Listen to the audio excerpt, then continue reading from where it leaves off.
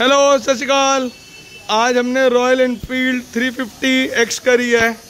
इसका 32 to x pro किया, आप देख सकते हैं बाइक का ग्लॉस और आपको एक बार बाइक दिखा दें, उसके बाद कस्टमर का रिव्यू लेते हैं।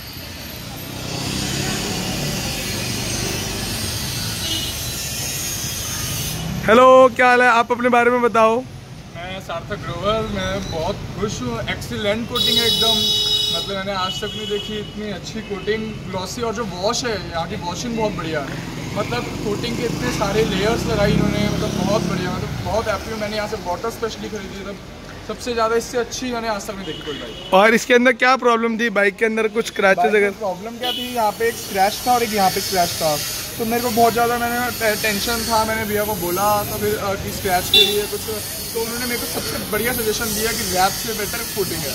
और कोटिंग में एक स्क्रैच नहीं दिख रहा। यहाँ पे हेयरलाइन स्क्रैचेस थे उसके लिए इधर और एक इधर वो कस्टमर उसके लिए वरिड थे उन्होंने बोला कि हमारे को इसको रैप करना है तो हमने बोला इसको हम 32 टू वैक्स प्रो में ही रिमूव कर सकते हैं।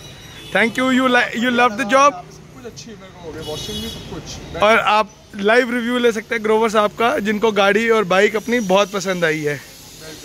Thank you thank you so much ये लाइव रिव्यू है कस्टमर का आप लिख सकते हैं और इसको हम पोस्ट करते हैं रात को।